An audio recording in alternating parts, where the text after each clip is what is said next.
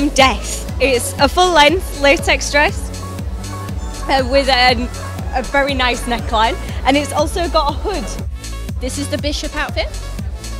So uh, I was leading the seven deadly sins on the catwalk, which was quite fun, and uh, trying to save lives at the same time.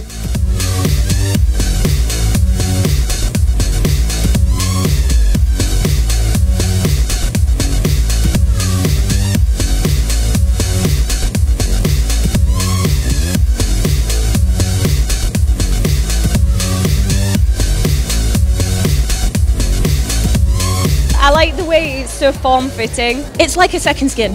It's just the most comfortable thing that you can ever wear. The colours that you can get, the, you can literally do anything with latex clothing. It's fantastic. It is a second skin, and it's comfortable.